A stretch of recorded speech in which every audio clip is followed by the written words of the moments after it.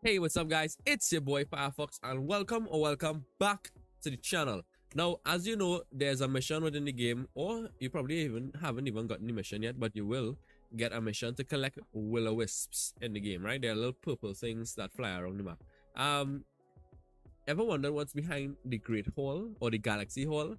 there's actually a wisp behind there. So this is just me in the game exploring, trying to figure out where are these wisps. There are actually a couple of them within Jubilife Village itself.